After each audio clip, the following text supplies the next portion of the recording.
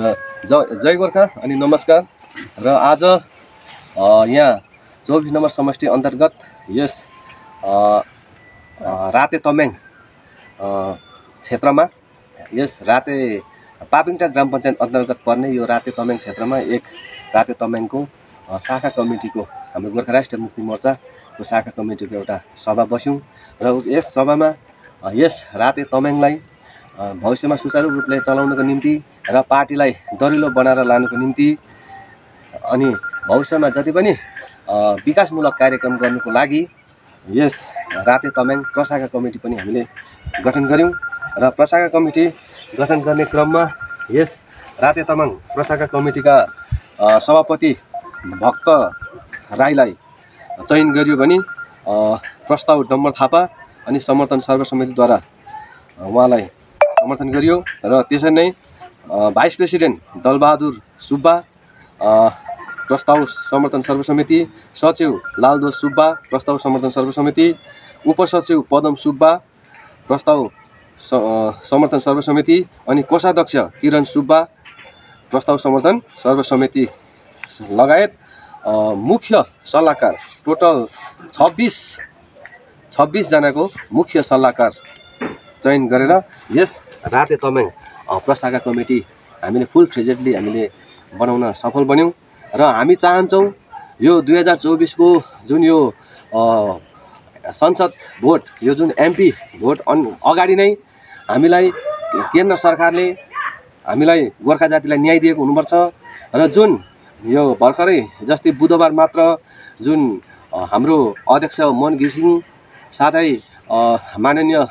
सांसद राजु विष्ट साथै हाम्रो जुन माननीय होम मिनिस्टर गृहमन्त्री अमित शाहसँग जुन यो हाम्रो गोर्खा जाति एउटा हामी जनजाति हौँ जति पनि यो हामी दार्जिलिङ गोर्खा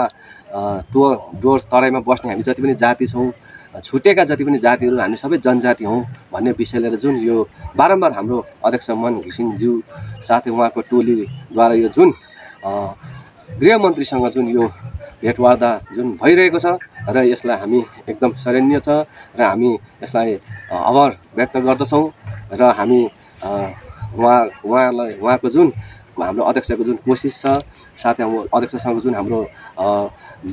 सांसद राजु विष्टज्यू लगायत जुन टिमको जुन कोसिस छ उहाँको कोसिस सफल रहोस्। र हामी यही महाकाल बाबा महाकाल थाना सिन्चल सिंहबाई सिंहदेवीसँग पनि हामी यही प्रार्थना गर्छौँ र हाम्रो गोर्खा जातिले यो चौबिसको यो संसद इलेक्सनभन्दा अगाडि चाहिँ यो एमपी भोटभन्दा अगाडि चाहिँ हामीले न्याय पाएको हुनुपर्छ। हामी गोर्खा जाति समस्त जाति हामी जनजाति हौँ। हामी पिता पुर्खादेखि नै एउटा यो वनदेवी वनस्कण्डी संसारी माई भगवतीको पूजा गरेर हिजो मात्र मकर सङ्क्रान्ति फेस्टिभल यो टिस्टा नदीमा रङ्गित नदीमा रेलीमा गएर यता समस्त जति पनि नदीहरू छन् यहाँ जस्तै बालसन नदी भयो यो महानन्द नदीहरू भयो जहाँ नदी नदीमा गएर खोलानालामा गएर यसरी मकर सङ्क्रान्तिको दिन पनि यसरी हामीले पूजा अर्चना गर्छौँ हामी त्यही एउटा देवी शक्तिको हामी हामी पूजा गर्छौँ खोला नालाको पूजा गर्छौँ रुख बिरुवाको पूजा गर्छौँ हामी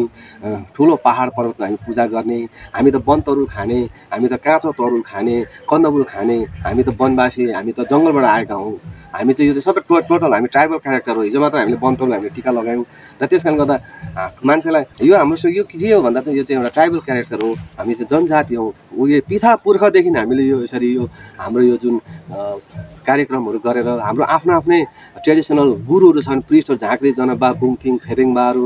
बिजुवाहरू छन्। र यसरी उहाँहरूको द्वारा हामीले यसरी पूजा अर्चना गरेर हामी पिता पुर्खादेखि आएका हौँ र हामी चाहिँ यहाँको रैथाने हौँ। हामी चाहिँ जनजाति हौँ र केन्द्र सरकारले हामीलाई गोर्खा जातिलाई जनजातिको मान्यता चाँडोभन्दा चाँडो दिनुपर्छ भन्ने हाम्रो यही माग छ। जय गोर्खा।